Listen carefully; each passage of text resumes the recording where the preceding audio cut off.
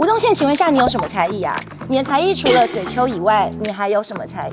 那我的嘴就是比你更秋喽，所以我觉得吴宗宪应该是怕了我，他觉得我嘴比他更秋，不敢让我上他节目。要不要敢正面对决？我真的非常的想上你的节目。吴宗宪说，有些艺人发两千块都嫌多，没有什么才艺。他特别指明说，像是香蕉或是大哥，我觉得香蕉跟大哥真的很可怜，他们跟在吴宗宪身边，不是因为有才艺，是因为便宜。然后吴宗宪一直讲说。陈怡有什么才艺？他上我的节目也只能够喷，是这样子吗？吴宗宪，请问一下，你有什么才艺啊？你的才艺除了嘴秋以外，你还有什么才艺？那我的嘴就是比你更秋喽，所以我觉得吴宗宪应该是怕了我，他觉得我嘴比他更秋，不敢让我上他的节目。我觉得宪哥要勇敢一点啦，要不要敢正面对决？我真的非常的想上你的节目。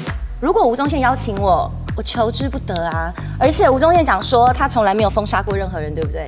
他之前有说要联合整个演艺圈封杀陈怡，然后也说要联合整个演艺圈封杀黄安。你们记得为什么吗？是因为黄安曾经在节目上公开吴宗宪有老婆也有四个小孩的事实，所以当时吴宗宪是假单身，然后在节目上公然跟其他女明星搞外遇，他才放话说要封杀黄安的。至于吴宗宪要封杀我，不就是因为我也是直接讲说吴宗宪上节目迟到不对稿，所以吴宗宪没有办法纵容别人陈述他所犯过的错。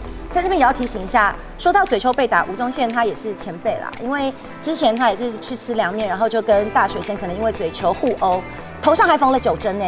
所以我想说，身为嘴丘的前辈，吴宗宪不找我上节目，谁要找我去啊？